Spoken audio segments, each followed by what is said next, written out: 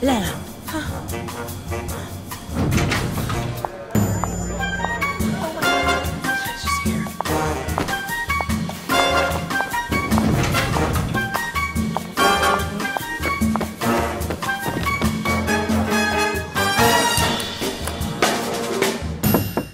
Good morning, Angela. Here's your regular coffee. They didn't have 2%, so I had to go for the three.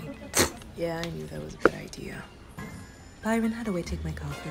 One Americano with uh, 2% milk and one sugar. That's right. Not 1%, not three. Just two. I'm sorry, and I'll take note of that for tomorrow. Oh, don't bother. Are you sure? I really don't mind. Byron, you're fired.